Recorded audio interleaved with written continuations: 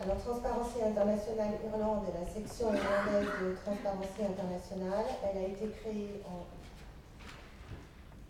2004 et non pas en 2014. Il y a une erreur sur le slide.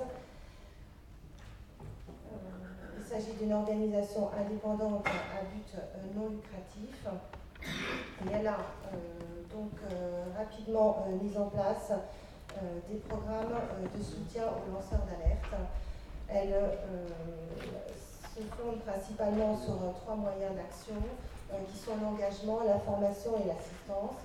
Euh, l'engagement qui consiste à écouter essentiellement les besoins euh, des parties prenantes, à échanger avec les représentants du gouvernement euh, sur ces différents points de faire des réformes, l'information qui consiste à mener principalement des travaux de recherche dans ce domaine, à diffuser leurs résultats auprès du public, et enfin l'assistance qui consiste